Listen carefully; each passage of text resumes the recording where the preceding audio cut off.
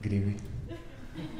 I, uh, I wrote this song about um, two things that uh, spend a lot of time thinking about the passage of time and uh, beautiful ladies.